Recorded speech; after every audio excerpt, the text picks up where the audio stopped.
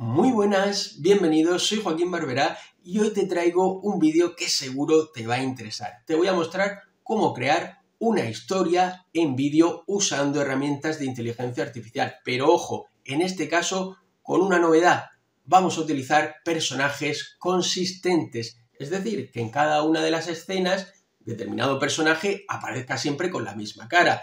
Esto que parece tan simple era un problema muy importante que teníamos con las herramientas de inteligencia artificial. Por supuesto, lo que te voy a mostrar hoy te vale para crear cualquier tipo de historia. Pero yo me voy a centrar en un nicho muy interesante que es el de los relatos bíblicos. Vamos a ver todo el proceso. Dentro vídeo. Existen muchos canales en YouTube centrados en crear vídeos de relatos bíblicos con muchísimos suscriptores y que están creando vídeos con millones de visualizaciones y por tanto generando también ingresos importantes. Hasta hace poco, pues crear este tipo de vídeos era relativamente complicado, pero ahora con las herramientas que tenemos de inteligencia artificial es mucho más sencillo. Además, vamos a añadir una innovación importante porque vamos a crear personajes consistentes. Vamos a ver todo el proceso.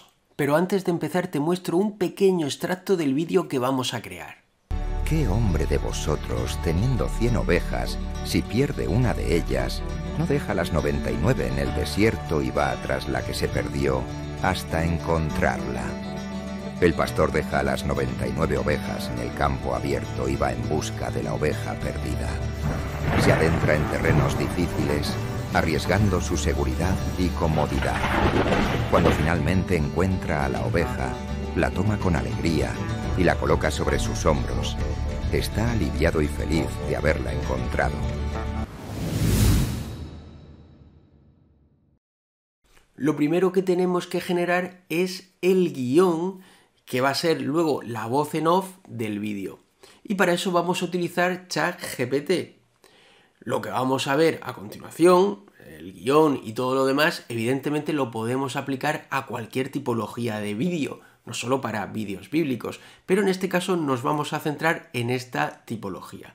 Existen diferentes tipos de contenidos que podríamos usar para este vídeo bíblico, pero yo me voy a centrar en las parábolas que eh, decía Jesús, que ya sabéis que son pues una especie de cuentos que eh, decía Jesús para que la gente pudiera entender sus mensajes. Y lo primero que le vamos a pedir a ChatGPT es que nos dé una lista con título y una breve descripción de parábolas de Jesús para que podamos elegir la que más nos guste. Bueno, como podemos ver aquí, estamos usando GPT-4o. Nos ha dado ChatGPT una lista con 10 eh, parábolas. Si quisiéramos alguna más porque no nos interesa ninguna de estas, pues le podríamos decir que nos siguiera dando más parábolas. Pero yo ya he encontrado una que voy a utilizar. Es esta, la de la oveja perdida. Descripción, un pastor deja sus 99 ovejas para buscar una que se ha perdido. Cuando la encuentra, su alegría es inmensa, ilustrando el amor de Dios por los pecadores arrepentidos y su deseo de que todos sean salvados. Aquí vamos a tener varios personajes, un pastor, que va a ser un personaje que tenemos que hacer que sea consistente y luego eh, también podemos incluir a Jesús contando la parábola y luego aparecerá por ahí la oveja también, pero personajes consistentes tendremos el pastor y Jesús. Ahora vamos a escribir el siguiente prompt. Eres un especialista en estudio y redacción de hechos bíblicos, quiero crear un vídeo sobre la parábola de la oveja perdida y quiero que me generes el guion del vídeo que será la voz en off. Debes dividir el guion por escenas y me debes aconsejar en cada escena una imagen asociada. El texto de la última escena debe ser la explicación de la parábola. Le damos a enviar. Bueno, pues aquí lo tenemos perfectamente compartimentado. Por ejemplo, aquí tenemos la escena 6 y por un lado tenemos la voz en off y por otro lado la imagen que nos recomienda. Voy a copiar ahora todo este contenido en un documento de Google y voy a separar por un lado la voz en off y por otro las imágenes recomendadas. Y ya que estoy, pues voy a hacer alguna corrección y algún cambio en el contenido. Bueno, pues aquí lo tengo y prácticamente he cambiado muy poquitas cosas. Por un lado tengo lo que es el guion de la voz en off, que sería toda esta parte, dividido por escenas, 8 escenas. Y luego tenemos aquí las imágenes recomendadas, también clasificadas por escenas. El segundo paso va a ser la generación de la voz en off del vídeo y para eso vamos a utilizar esta herramienta de inteligencia artificial que se llama Eleven Labs. Y aunque es una herramienta de pago, pero como podéis ver aquí, podemos generar gratis con la cuenta gratuita hasta 10.000 caracteres cada mes, que aproximadamente son unos 10 minutos de audio. Bueno, pues ya hemos iniciado sesión en la herramienta y lo primero que vamos a hacer es elegir la voz. Para eso nos vamos a Voices. Ahora hacemos clic en la pestaña Voice Library. Ahora vamos a desplegar los filtros haciendo clic en este icono. Y en lenguaje, en idioma, vamos a elegir español. Y en acento vamos a elegir peninsular, que se refiere a la península ibérica, imagino.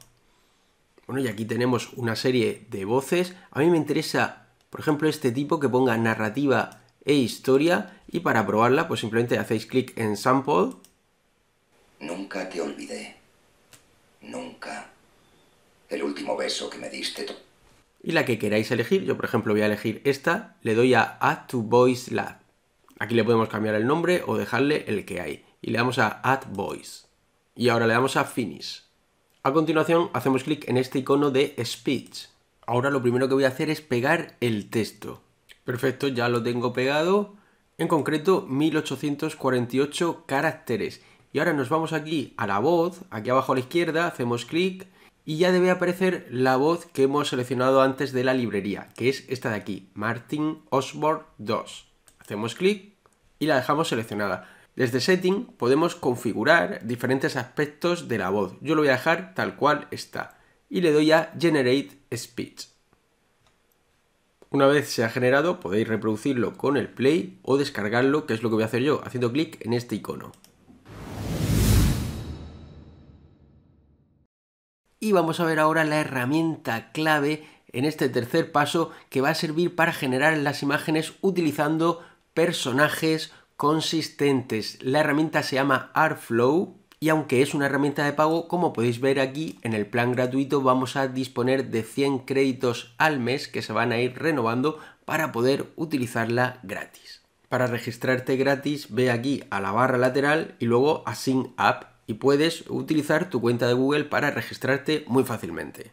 Una vez iniciada la sesión, aquí en la pestaña de Actors, ¿vale? Bajamos y aquí podemos eh, utilizar diferentes actores. Le damos a Load More para cargar todos. Y por ejemplo, este podría usarlo para Jesús. Y para el pastor, pues estaría bien este de aquí, Rabí. ¿Vale? Vamos a crear una imagen con Rabí. Le damos a Create Image si te está gustando este vídeo, dame un buen like y suscríbete a mi canal de YouTube y ayúdame a que siga creando vídeos sobre temas de inteligencia artificial. Y aquí tenemos ya la interface de generar imágenes, ¿vale? Que es como si estuviéramos aquí en Image Studio. Y lo que ocurre, fijaros aquí en el PROM, es un PROM de ejemplo, nos pone arroba rabi. Esta es la forma de identificar a los actores, por lo tanto en el PROM, en la indicación que escribamos, debemos incluir arroba rabi para que se utilice ese actor. Y ahora lo que corresponde hacer es generar una o varias imágenes consistentes para cada una de las escenas. Como ejemplo, aquí lo tenéis en inglés y en español, un prompt para generar eh, la imagen correspondiente a una de las primeras escenas en la cual va a salir el pastor junto a sus ovejas. Si queréis aprender a crear prompts, os recomiendo mi curso de prompting para imágenes. Lo tenéis en formaia.com y aquí arriba os dejo una presentación del curso. Vamos ahora a ver las opciones. Esta la dejamos en general. El aspect ratio 3.2 apaisado. La versión, la última versión de Artflow disponible. No vamos a usar ninguna plantilla, ningún template. Saltamos. Aquí vamos a escribir el prompt, la indicación. Ahí la tengo pegada. Y ahora fijaros, voy a eliminar esta parte que era de ejemplo. Y esto de arroba lo corto y lo voy a pegar aquí. donde dice pastor, pues aquí en pastor pego arroba rabi, que es la identificación del actor que hemos seleccionado. Vamos a añadir también un PROM negativo, vamos a activarlo, ya sabéis que el PROM negativo sirve para indicar que no queremos que se muestre en la imagen. Y vamos a poner aquí un PROM negativo estándar, pues bueno, lo típico, dedos faltantes, dedos de sobra, manos deformadas, etc. El estilo vamos a dejar realista y vamos a añadir también un estilo cinematográfico. Hacemos clic en Add Style y elegimos Cinematic. Ya lo tenemos todo y le damos a Generate. Y aquí tenemos las imágenes ya generadas. Si hacemos clic en una de ellas, fijaros en el rostro, como es siempre el mismo personaje. Para descargar las imágenes, hacéis clic en este icono. Y a partir de ahora, todas las imágenes que genere sobre el pastor las haré con este actor que se identificaba como arroba Rabi. Para las imágenes de Jesús, elegiré otro actor diferente. Para no tener problemas con la música, vamos a usar la librería de YouTube. Para eso nos vamos a nuestro canal de YouTube, hacemos clic aquí arriba a la derecha y nos vamos a YouTube Studio. Ahora hacemos clic en Biblioteca de Audio. Y aquí tenemos un montón de canciones libres de derechos. Podemos filtrarlas haciendo clic en este icono por ejemplo, por el género, vamos a poner cinematográfica, aplicar. Vamos a hacer clic otra vez para ahora filtrar por estado de ánimo, positivo, aplicar, ¿vale? Y ahora vamos probando, haciendo clic en el play cada una de las canciones y la que nos guste le damos a descargar.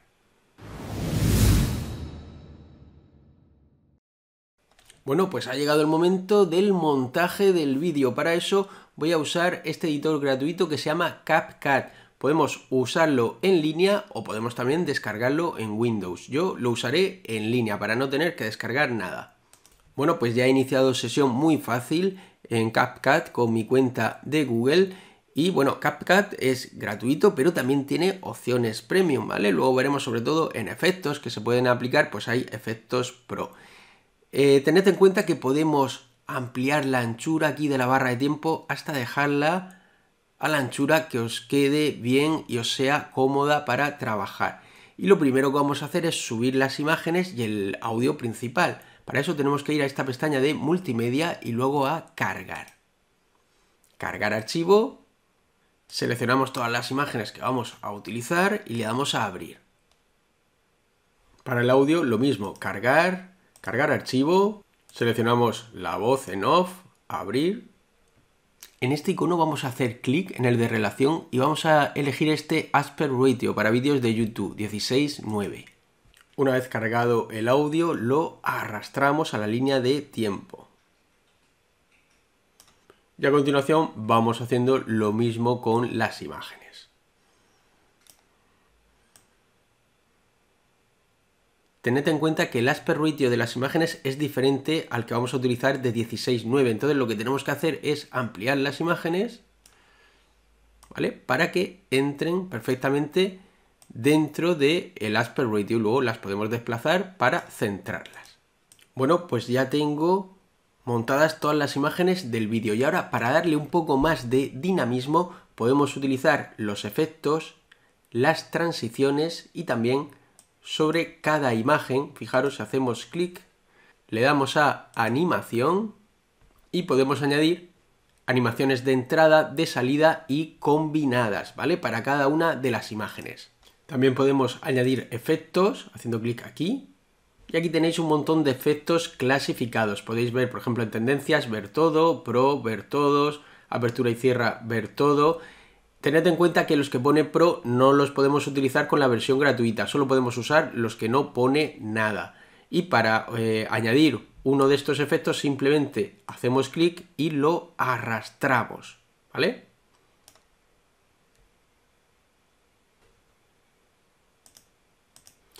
Y ahora colocamos el efecto en la posición que queramos, ¿vale? Fijaros en este ejemplo. También puedes añadir transiciones entre fotogramas. Recuerda que solo podemos usar las que no son pro y para añadirla pues simplemente la tenemos que arrastrar y colocarla entre dos fotogramas. Bueno, pues ya tengo aquí todos los efectos y transiciones. Incluso aquí al principio le he añadido un texto con un efecto de movimiento. Los textos se añaden desde esta pestaña de aquí. Y luego aquí abajo he añadido también la música de fondo que hemos descargado de YouTube. Incluso por aquí he puesto también un efecto de sonido de truenos, ¿vale? Truenos y lluvia. Estos efectos que veis aquí de los, de los relámpagos los he añadido desde aquí, desde efectos.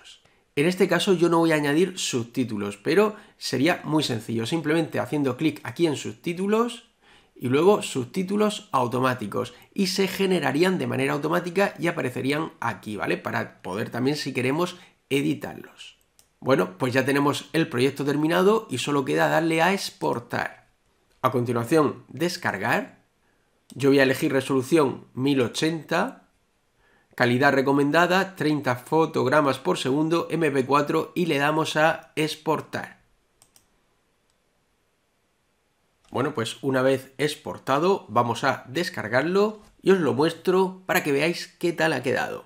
Vamos a verlo la parábola de la oveja perdida. En esta historia, Jesús nos enseña sobre el amor y la compasión divina. La parábola de la oveja perdida se encuentra en el Evangelio de Lucas, capítulo 15, versículos 1 al 7. Jesús hablaba a una multitud de publicanos y pecadores que se acercaban a escucharle, mientras los fariseos y los maestros de la ley murmuraban porque Jesús recibía a los pecadores y comía con ellos. Para explicar su mensaje, Jesús contó esta historia. ¿Qué hombre de vosotros, teniendo cien ovejas, si pierde una de ellas, no deja las noventa y nueve en el desierto y va tras la que se perdió hasta encontrarla? El pastor deja las noventa y nueve ovejas en el campo abierto y va en busca de la oveja perdida. Se adentra en terrenos difíciles arriesgando su seguridad y comodidad. Cuando finalmente encuentra a la oveja, la toma con alegría y la coloca sobre sus hombros. Está aliviado y feliz de haberla encontrado. Al regresar a casa, reúne a sus amigos y vecinos diciéndoles, Alegraos conmigo, porque de ella he encontrado mi oveja que se había perdido. La alegría del pastor es compartida por todos. Jesús concluye diciendo, de la misma manera, hay más alegría en el cielo por un pecador que se arrepiente que por 99 justos que no necesitan arrepentimiento. En esta parábola, Jesús nos muestra el inmenso amor de Dios por cada uno de nosotros. Al igual que el pastor busca incansablemente a su oveja perdida, Dios busca a los que se han desviado del camino. La oveja perdida representa a los pecadores, y el pastor es una figura de Dios, quien no abandona a ninguno de sus hijos y celebra su regreso con gran alegría. Esta historia nos recuerda que siempre hay esperanza y perdón en el amor divino, sin importar cuán lejos hayamos ido.